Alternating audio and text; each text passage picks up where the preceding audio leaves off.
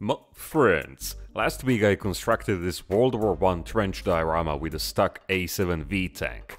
Tonight we'll start painting, but we'll focus on the model for now, because it's gonna be the saddest tank ever, and I don't wanna make it any sadder. And as usual, I'll start with a coat of black primer.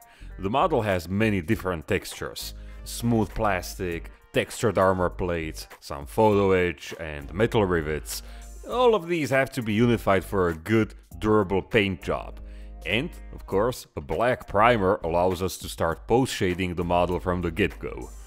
Okay, it's a box on tracks, there won't be many shadows, but anyway. I started by spraying the lower hull and running gear with a reddish brown color. Because some of this area is gonna be visible in the diorama, I couldn't leave it black, and an oxide red primer color seemed a logical solution here. Now, onto the camouflage.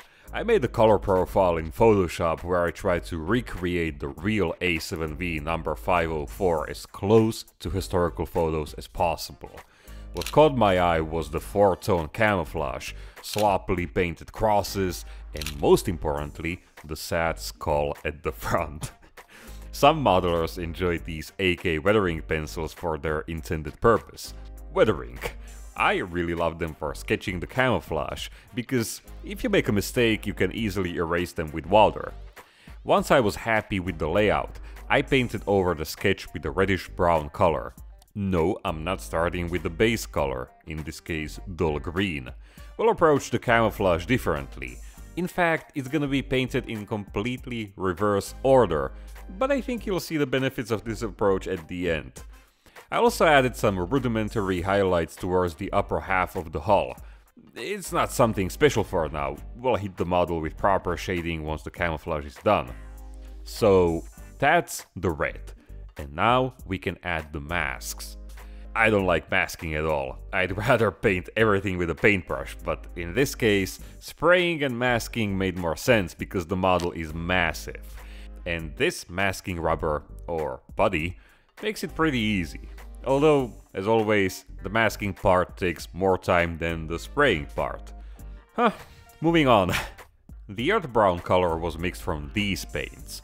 I added generous amounts of Tamiya X22 clear varnish into every paint mixture. This makes the painted surface smoother, but more importantly, the dried paint is saturated. If I used flat colors, as in straight from the bottle with some thinner, they turn much darker after the final coat of varnish.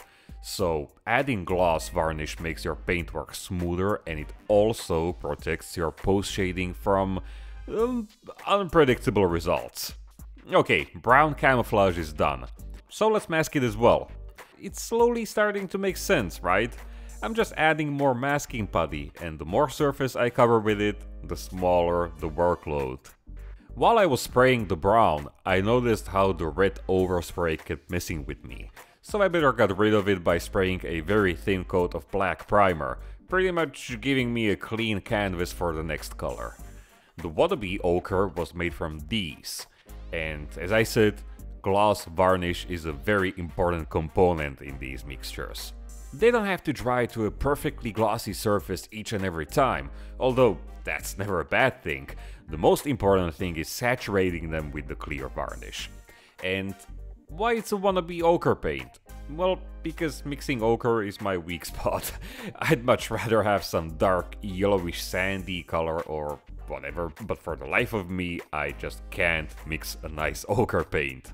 Anyway, let's mask this one as well, and in fact, this makes the model ready for the final color, the base color. Which should normally come first, but I think you can already see the point of this reverse order.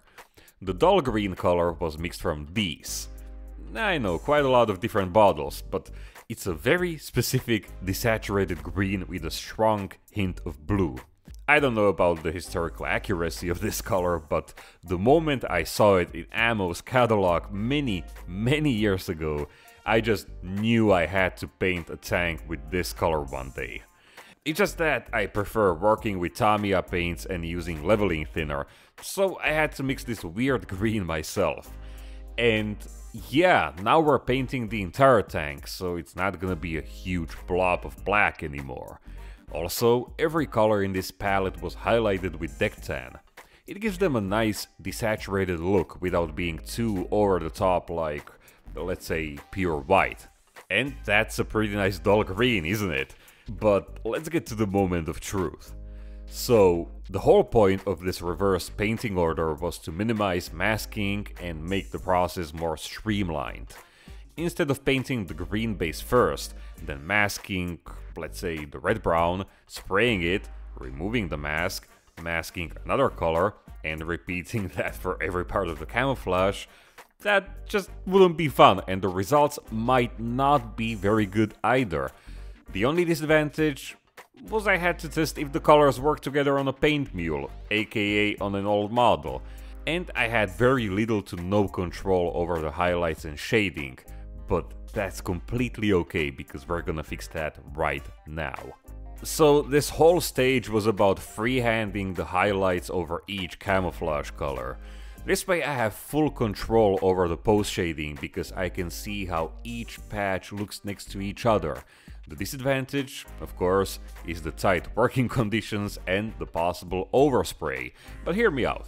Because these paints are so over diluted, we're talking like 90% thinner, the overspray is hardly noticeable.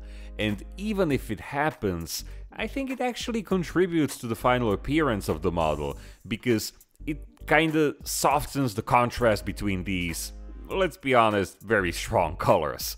And because I'm only using Deck Tan to highlight every mixture, they all have something in common, so the final result is going to look more natural. There's of course the question of how far you should take the highlights. Personally, I like to go as far as possible, to a point where the highlight color looks more like Deck Tan than the original paint. But of course, the lighter the color, the smaller area it should cover. Not to mention, this stage allowed me to fix any mistakes and imperfections caused by the masking putty. And although the result of this stage isn't too extreme, it's quite the difference compared to its raw state. The final missing detail was the black outlines. I used German grey because it appears black on most surfaces, but at the same time it's not black, so it looks more natural. I'm sure that makes perfect sense. and I like making these with a long liner paintbrush. Any imperfections will just add to the character because in real life this was all done by hand as well. Anyway, most of the camouflage work is now done, so let's um let's spray some markings now. I was lucky enough to know a fellow modeler who made these custom stencils for me. I designed them in Photoshop using the historical photos as a guide, and you wanna know something interesting? This all happened like 7 years ago, right when this model was released by Meng. So, technically speaking, this project and this video series have been 7 years in the making. Although, back then I didn't even think for a split second that I'd be making YouTube videos about my models. Anyway, when I'm spraying any kind of markings, I kinda like to post shade them as well, making some of the camouflage paint shine through and also making the marking colors look more translucent and faded. Some stencils were rather complex. Um, this large cross consisted of uh, five individual stencils, I think. The only insignia that was easier to paint with the brush was the black shield at the front. This is where the sad skull resides, and I paid extra attention to replicate its shape and sad face as accurately as possible. It always makes me chuckle seeing how they considered this intimidating and cool more than 100 years ago. But who am I to judge? But moving forward, I also applied the large air identification stripe on the roof, and with that, the markings were done.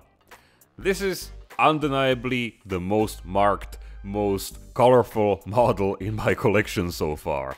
But there's still one more step that will make the base coat even more interesting.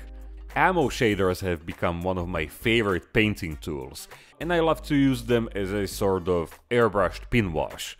They can be used to outline details, but also to add more artificial shadows and contrast between different components. Some things look better if they're done with the proper enamel or oil pin wash of course, so I mostly focused this effect on bolts, rivets, small hinges and the most prominent lines such as around moving panels. The result is... I think you can probably see why I love them so much. Okay, all that was left now was to give the model a generous coat of flat varnish. The surface was cluttered with different intensities of flat, satin and gloss, so this gave it a nice uniform look. The flat surface will be very important in the diorama, but I'll talk about it in another video when the time is right, okay? Finally, the tracks were base coated with German grey, which is a very good base color for steel finishes, and to prepare them for weathering, I gave them an uneven coat of flat brown, acting as a very basic sketch for rust and earth tones. And with that, the model is ready for weathering my friends. The irony is strong here because on one hand, this is just a base coat and the model is now gonna receive all those fancy weathering techniques, and on the other hand, it looks just how I was imagining and hoping it would look like, so I'm kinda hesitant to add too many special effects. But hey, maybe spending more time and giving the base code more love than usual will make the upcoming techniques easier. What's for sure is that this is the craziest looking camouflage I've done so far, and I'm in full honesty very happy with how it turned out. I thought post-shading a 4-tone camouflage with sharp borders would be a nightmare, but it was pretty awesome and I had a great time. So in the next episode we'll do something, okay? I'll start with a pin wash, that's for sure, and then there will be chipping, rust zones and all the sweet stuff. In the meantime, thank you for watching my friends and thank you to my patrons who make this show possible. If you like what I'm doing, wanna get more of it, and in return support my work, you can go to my Patreon page and see what kind of rewards would you like. I'm posting there almost every day with updates from my workbench, we can get in touch through DMs, comments and emails. I'm posting one week early ad-free videos, so you could watch the weathering video right now. And also these beautiful studio photos that you can download in full resolution and last but not least, some real-life references for dioramas, sceneries and landscapes. And of course small 3D models for detailing your tanks and dioramas. So yeah, this was a ton of fun and also an awesome airbrushing experience. I learned a bunch of new things, tried something I haven't done before, and it felt refreshing. If you want an armor model that's gonna stand out in your collection, just grab one of those World War I kits. But anyways, I'm off to my workbench now, okay? And you, my friends, stay safe, stay awesome, build your models, don't just collect them, and I'll see you in the next one. Cheers!